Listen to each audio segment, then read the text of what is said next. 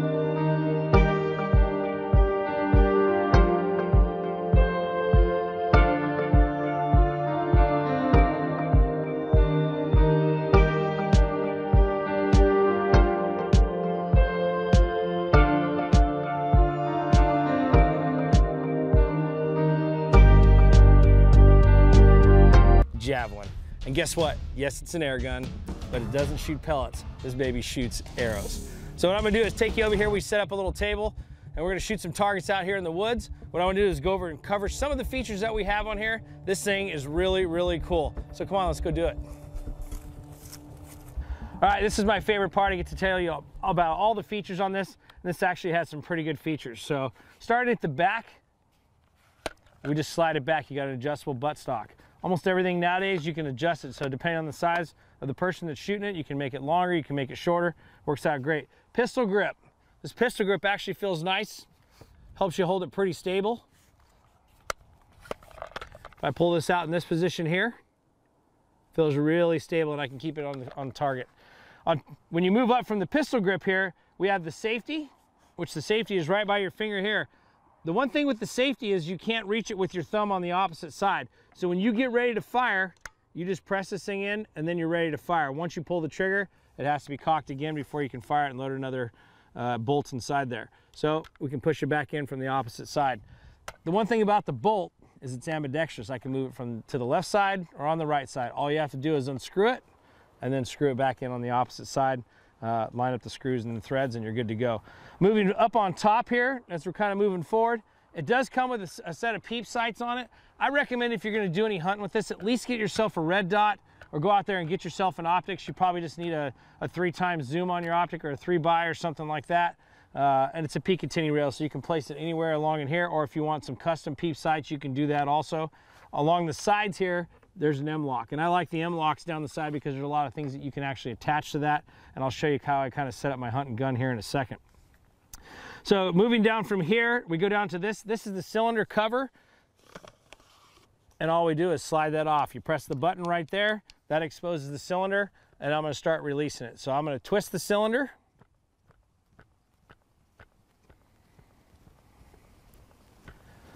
And I'll start to feel, hear a little bit of air come out.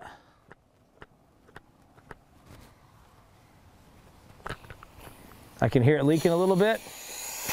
I bleed off the excess that's inside there.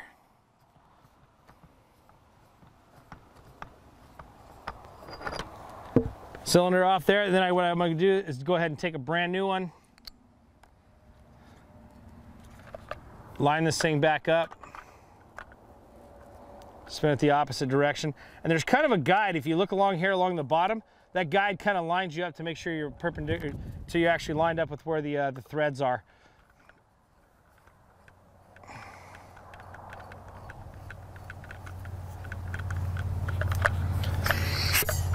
All right, and I can hear it charge through there.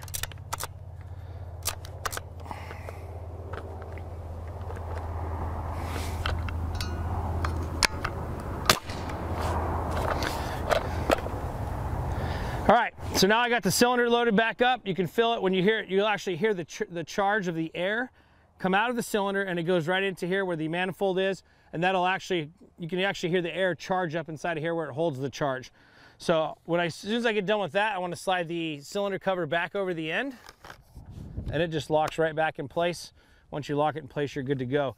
One thing I will tell you is when you get out in the cold weather, so if you're hunting anything under like about 70 degrees, 65 degrees, this area here is where you want to keep warm. So if you have it wrapped up with something, if you have those hand warmers or foot warmers that you have, you can put, you know, put that down here, maybe put some uh, camo tape around it or something, and that'll actually keep the cylinder warm and it'll actually keep the, uh, the manifold warm that's right here. So it actually charges up uh, into here.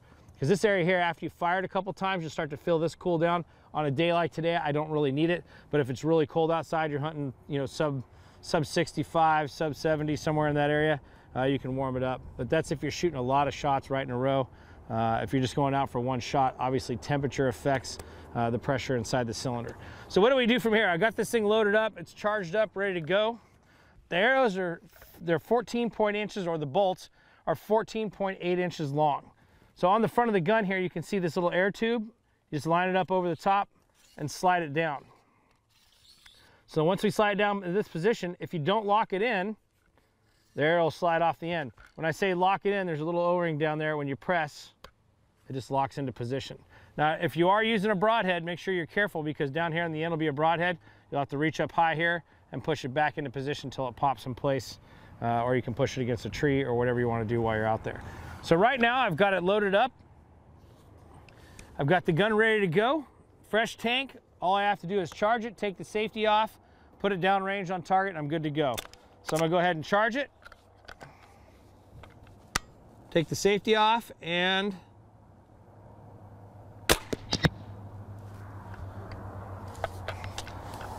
that's how it works. Again, I'll put the safety on. Make sure you always have the safety on before you load your arrows. I think that's important. Uh, and then on top of that, make sure you don't pre-charge it prior to putting your arrows on. Those are just some safety tips that you guys have out there. Other than that, that's the features of the gun. Super light. You can walk around with this thing all day long. Probably the lightest thing that you'll see out there uh, on the market, just in any gun in general.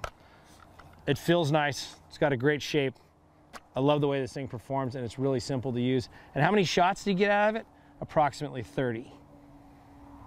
So it depends. Depends on if it's a cold day or if it's a really hot day. If it's a really hot day, this baby's screaming coming out of here. On the next segment here, what I'll do is go ahead and talk about, uh, we'll just see actually how fast this thing is shooting. How many feet per second is this baby putting out? All right, so you're probably wondering how fast does this thing shoot? It is using a CO2 cylinder. So for power with 88 grams of CO2, what I'll do is do a, a three shot string run it on a chronograph and then tell you exactly what we get. We'll kind of get an average out of there. I said 320 feet per second, so we're gonna be right in that area. Uh, the temperature today is probably about 65 degrees, somewhere in that area. So what I wanna do when I make sure when I'm loaded again is make sure that that safety is on, so it should be protruding on the shot side of the gun or your finger side of the, the gun. And then on top of here, make sure there's a little pressure, make sure it's not cocked. And then from there, I just go ahead and take the bolt, slide it over the tip, make sure it knocks into position. Look how easy this thing charges. One hand, pull it back, it's good to go. Safety off. Let's see what the first one brings.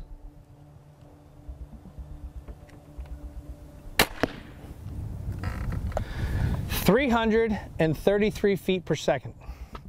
That's on the first one. So safety back on.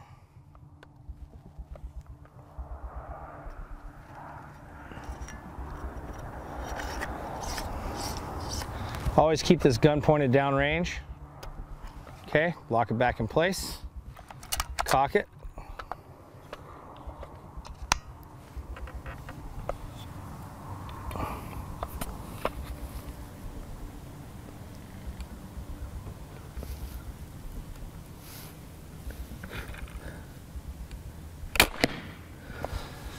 Three hundred and thirty-two feet per second.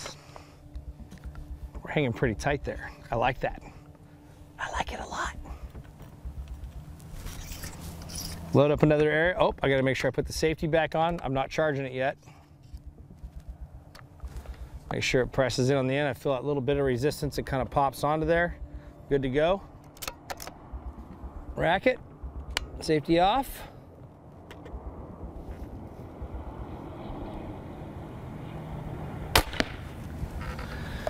Three hundred and twenty feet per second.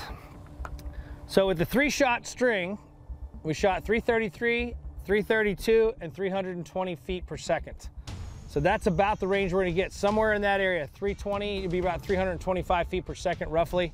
Uh, after you put a fresh tank in there, it's good. This thing is absolutely awesome. Make sure I put my safety back on. God, this thing's amazing. The best thing I like about it, the fact of the, weight. I can't get over how light this thing is and performance-wise. And this thing's accurate. The grouping on them, it's pretty darn good. So let me show you real quick to kind of wrap this thing up. Let me show you what my uh, hunting rig, what looks like. And this is the prototype I had here. We got a quiver on the side so I can carry it with arrows. It does add a little bit of weight to it. On top of that, with an optic added to the top, this is a three-time mag magnification on top. Uh, I like this, and I put the charging bolt on this side here so I can charge it with my left hand as I'm holding it uh, with my right hand. So that's kind of how it looks from there. I got my broadheads and a safety cover up in the front. This is my hunting rig. I did take a pig with it, about 65 pound pig. Shot him right from the front. Uh, it worked amazing. He went about 25 yards and went down. That's perfect. So what you guys need to do is go in and check it out. You guys are gonna see this. It's the Air Javelin, Air Saber. This thing is built for hunting, hunting, hunting. I'm, fire I'm fired up. It's got a 3,600 pound tank for a reservoir on there, shoots 30 shots. It comes with three arrows, 350 grain arrows. All you have to do, go buy your broadheads, put them on there. It's good to go. On top of that, it comes with a scope. Mount your scope, load your tank up there, refill your tank, get that thing ready to go, slide the arrow down the end, and you're ready to fire off with this thing. It's a 4x32 Axeon scope. The fit and feel on this thing is absolutely amazing. This is just at first glance. I'm excited to shoot it, so let's go shoot this thing. It's getting hot. I wouldn't call it hot, but it ain't cold. All right, so my favorite part, sitting at the range. Let's start with, uh, just break down all the features on this gun here. We're gonna start again, butt to muzzle, uh, and start out with this. Overall, it's got like a pistol grip stock here, but if you if you look from this end of it here, there's a little connector piece that goes in there. It feels like a little bit better stability. I can rest my hand against it. The stock feels a little bit thin, and it feels great. Everything, you know, I don't, I don't like my stocks bolty. This thing actually snugs up perfect. It's got a nice padded buttstock on the end. You won't need it. I promise you that. Nice, uh, you see this chrome bolt that you have here? You rotate this up, pull it back, it'll actually charge it. And then on top of that, you got a 4x32 Axeon scope. Comes with the gun. All you have to do is mount it up. My recommendation when you mount this thing up is put it a little bit further back on the rail because the gun's not going to scope you. Put a little bit further back on the rail, you go from there. Trigger feels really nice. At least the texture and the touch on it does. It should be good to go. On the bottom down here, you have your gauge. And your gauge shows you how much air you actually have in it. And uh, moving on up forward here, you can mount up Picatinny rails. Uh, it actually comes on that. And then you can, if you want to, I got a quiver attachment attached to mine. So I can actually attach my quiver while I'm out hunting. I don't have to carry anything on my back. It protects my broadheads. It does everything for me. On top of that, this whole chamber here is where the arrow slides down into it and it protects the air tube that's inside the center. So you're probably wondering at this point here, how do I charge this thing up? Because you don't see any Foster fittings or anything like that. So what they actually send you is they send you a little kit that has O-rings. You got some O-rings and then on top of that, you also have a Foster fitting connector in there with a probe that actually goes into it. So all I have to do on my little tank here is take this connector, plug it right into the end, it locks into place, and I thought this was gonna be a little bit harder. I'll rotate that over, and all you have to do is slide it down until it locks into place. Once you kind of lock, it locks into place, you can feel it kind of smooth out, and then all I do is turn the handle here, and I'll go ahead and charge it up. I've already got a full charge in this thing. It's sitting at 3,600 pounds right now, so I'm good to go. I won't need that, but we'll charge it up here in a little bit. But that's all I gotta do is charge it, bleed off my air. At that point, pull the probe back out, and I'm good to go. So once I do that, the best part about this thing is these arrows, I don't even know how to describe the quality in these arrows. They are, I mean, they feel robust. They're kind of thick. They, they feel absolutely amazing. And if you look at the fletching on them, it's real sleek. So these babies are gonna rip. So all I do is line it up from here, slide it right down the end, feel that little click that goes into the end of the, once it gets all the way over the end of the, uh, the air tube, it clicks into place so it holds it. If I'm up in a tree stand and I'm aiming down, it's not gonna fall out. That's another thing that I like. On top of that, the next thing I have to do is go ahead and charge this thing and send it on its way. But you know what? Let's just go ahead and set up the range down here. I'll set up 25, 50, and then uh, out there at 100. And let's see what we can put this thing through its paces and see how far we can actually shoot it, what the accuracy looks like. Okay, one thing, I'm ready to shoot this thing, but one thing I wanted to point out was the safety. The safety is actually on the trigger. So you look at the silver part right here, at the very top of the trigger, inside the, the trigger well, right there is where the safety button is. I push it to the right, that baby's ready to fire, you're good to go. You wanna put it on safe, you just push it from the other side, it puts it back in the safe position. So let me charge this thing, pull it back, a little more pressure in the spring here. Take it off at safety and let's try it at 25 yards.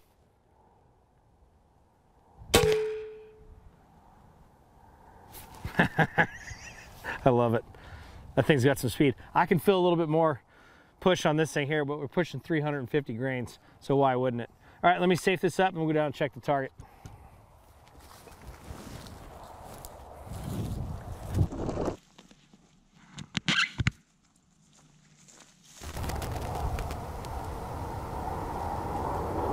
All right, we're out at 50 yards here. Next one's my favorite, hogs. Let's go ahead and load up another arrow.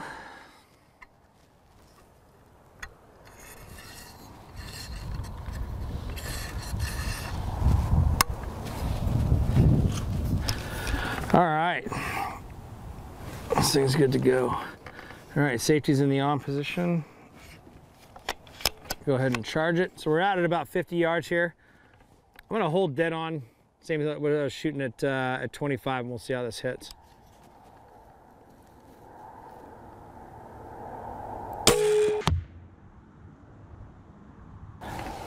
Let's go check it out. The gun back on safe. All right, let's go take a look.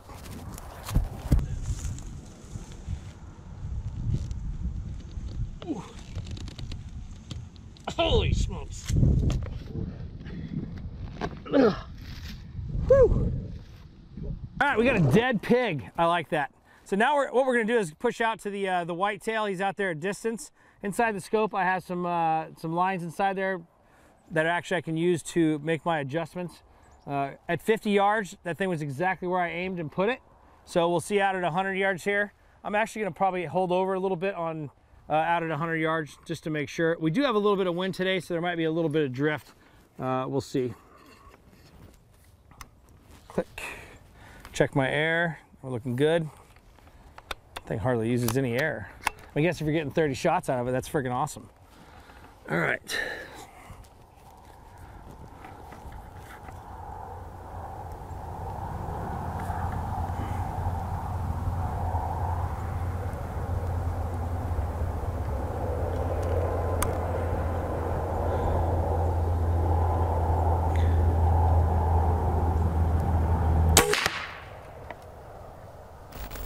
All right, so we're wrapping up the day here. It's starting to get a little bit chilly, almost time to head home. So uh, just out shooting the gun. My, my, very first thoughts of this thing, if I look at the fit and finish on it, absolutely amazing. The slim line to it, it's not a beef or fat, beefy or fat gun. It just feels absolutely amazing when you're holding it. Very, very, very natural. I like that. And the balance on it, it's balanced very, very well. Uh, on top of that, I think the overall design, it doesn't feel bulky up in here. The charging system, you do get a probe. It slides right in real easy. There's no crazy connectors or anything like that. Slides right in, charges right up. When, when you start talking about speed on this thing, this thing will go 460 you know, feet per second. That's on the high end and you know, 470, somewhere in that area. But if you guys are running it, at the, that's at the max pressure. So if you're shooting your 100 yard shots, you want to make sure that you're at your, your 3625 running at 3600 PSI and then do your 100 yard shots at that. For sighting in the gun for accuracy purposes, what I would do is I would actually sight it in at 25, make sure you're on, because uh, you're, you're gonna pump through some of these if you're out shooting in the woods. Make sure you have a good backstop, maybe have some hay bales or something back there.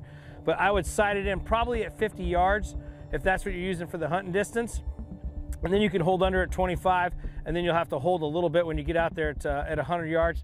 It has no problem. It definitely groups. That's one of the things it does. If you make a mis- if I make a mistake, then that's where, usually where the error is. Uh, it, it's errors on me. For the sound, I, I, guess if I have to place the sound in something there, it's not as loud as a big bore. Uh, it's actually pretty quiet, but the, the shroud kind of takes a lot of that that sound down a little bit. But it's not as loud as a big bore. Uh, it's a little bit louder than most of your like 25 caliber PCPs. If you want to compare it to anything that's out there on the market right now, uh, it's great. In the scope, there is some uh, some things here. Just kind of finish it up when you're uh, when you mount the scope scope up. You can put it forward or backwards. Once you get the scope mounted, you do have some some bars in there that you can line things up. You're gonna have to figure out how that works for you, depending on where you sight it in. If you sight it in at 25 yards, there's gonna be a holdover. You know, if you're going out at uh, at 50 yards, at 75 and 100, you just have to know, have your good dope. And after that, I have no problem with this thing. It's gonna be a lethal gun. Uh, Umarex Air Saber. Thanks for watching.